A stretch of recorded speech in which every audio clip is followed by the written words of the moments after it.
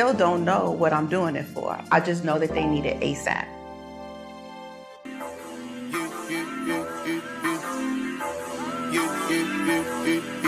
Who, who would have ever imagined the Apeshit video?